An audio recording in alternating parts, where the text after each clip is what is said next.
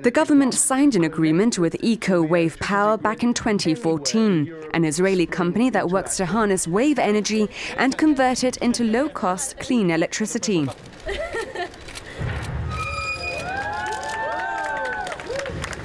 The agreement forms part of the government's plan for increasing the level of renewable energies in Gibraltar and moving away from dependence on fossil fuels last we're seeing the grid fed with renewable energy, something that was long overdue. As soon as we were elected, we started the process of making this a reality. But it's even more exciting than that. This is the first time in the whole of Europe that a renewable wave energy system is linked into an electricity grid.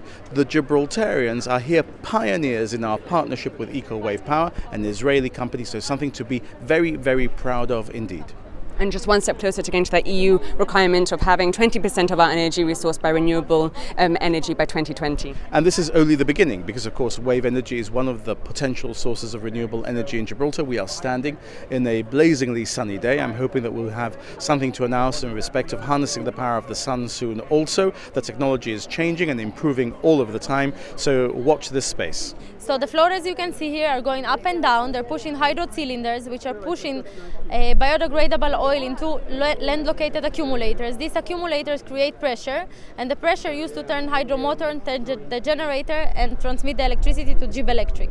The, the future is the future is here. The future is now. Keep on thinking outside the box and be green and help our planet.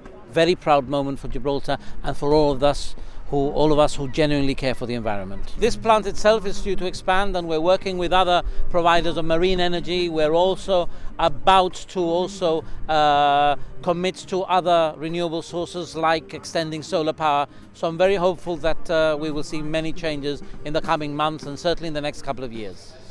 Initially, the company will be providing 0.1 megawatts of energy, with this expected to rise to 5 megawatts in the future. This will provide 15% of Gibraltar's overall consumption of electricity.